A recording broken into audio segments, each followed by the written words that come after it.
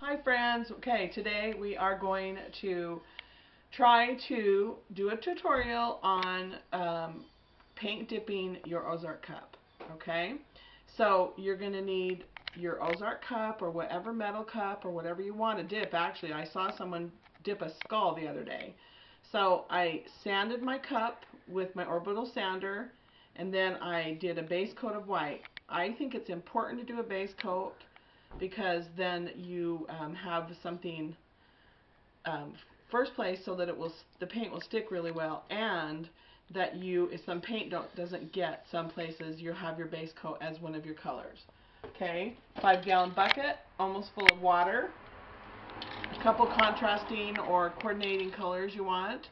Um, the last one I did I used orange and turquoise. I didn't like how the orange turned brown with the turquoise so we're going to do uh, red and yellow today, and hopefully we're going to get a better result. So bear with me. Um, I have only done this three times, so and also some kind of stick if you want to manipulate um, the water after the paint's in there. Okay, so yesterday I did a couple things. So I'm going to try to do like I did yesterday, and I ended up with a really cool swirl.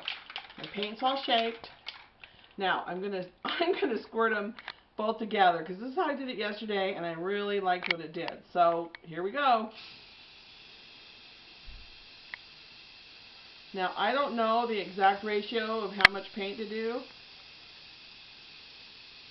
So I'm just going to do that and then I'm just going to see what happens. So basically we're just going to wait and let the paint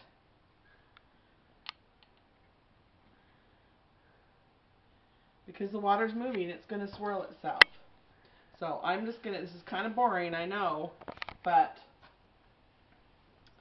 if you leave it alone, if it's moving a little bit, you're going to get, it's going to get some movement.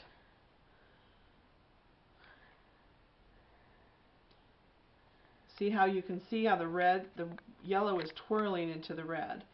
And that's really what you want because then you're going to get, and I'm just going to, what I'm going to do is I'm just going to give it a little push here. See what happens. See how pretty that is? Oh my goodness, it's so gorgeous. I love it.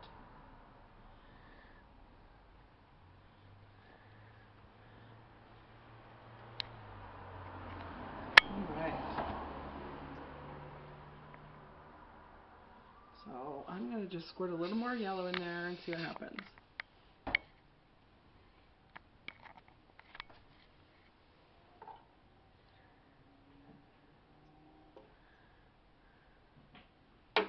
See how cool that is? Okay, so what's going to happen is when you put the cup down in the water, as you drag the cup into the water, it's going to put the paint, the paint will be sucked onto the metal, okay? So you're going to get a little on your hand, but you shouldn't get too much. So I'm just going to put my hand on the inside. I'm going to maneuver this a little more because I don't really like what it looks. I don't really want it to be empty.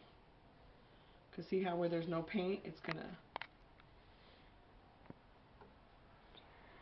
See, so how you can just mess with it like this. Okay, so here we go. Okay, so I'm going to slowly put it in. You need to put it in at an angle so that you're pulling the paint down. Okay? And so I'm just going to start going. And then I'm going to just drop it in there as it goes. So I'm going to slowly, and you, it doesn't look like it's doing it, but it is. Okay, did you see how I did that? I just dropped it in. And it's, people were asking me earlier how much gets inside, and hardly any gets inside. So look at that. It is so stinking cool. And and one thing I didn't like was that the drop. So I'm going to shake mine. I didn't like how the water dropped got wet on there. Okay, so honestly, this is the trickiest part of the whole thing. So Aaron, follow me up. So this is the trickiest part, is getting it off your hand onto the drying surface. So you're gonna just, it's gonna just have to touch the bottom.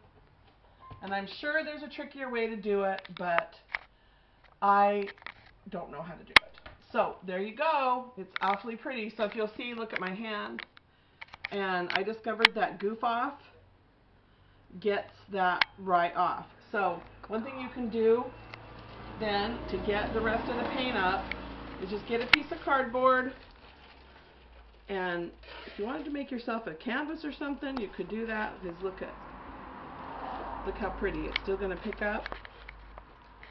So I would use a bucket that you intend to only use for this because it ruins your bucket. Okay, see? So the water is now clean again. So if you wanted to, you could just spray some other color and go for it. Okay? Thanks, friends. Thanks for coming to Miss Lori's craft room. Um, have a great day. Thanks.